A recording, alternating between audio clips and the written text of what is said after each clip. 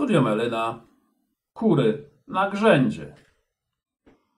Siedziały raz sobie kury na grzędzie, myślały tak ciężko, co z nimi też będzie. Z kogutem nie bardzo, seks olał ten drań, miał gdzieś zabawianie swych pań.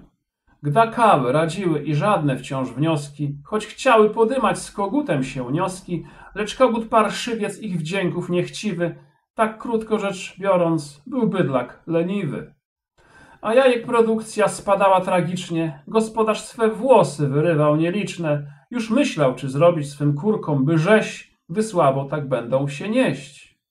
Zaś kogut pasożyt wciąż stroszył swe piórka, miast dać im swe wdzięki, wskazywał ogórka, rechocząc radośnie oburzał swe kury. Szedł gdzieś na pole lub w pobliskie góry.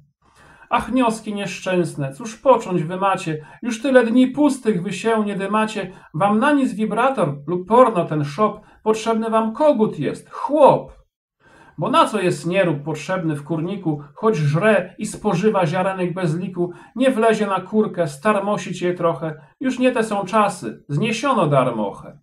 Aż dzionek raz przyszedł, że kogut miał chcicę, tak wielką, że chyba by zerżnął donicę. Lecz co to, orety, tu kurnik zamknięty?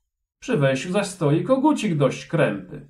Ty, kogut, powiada, dymanko za stówkę, nic nie ma za darmo, najwyżej w makówkę. Ponioski swój burdel otwarły w kurniku, dymanko, kogutów bez liku. I cieszą się kurki, że jajek przybywa, gospodarz już włosku swych też nie wyrywa.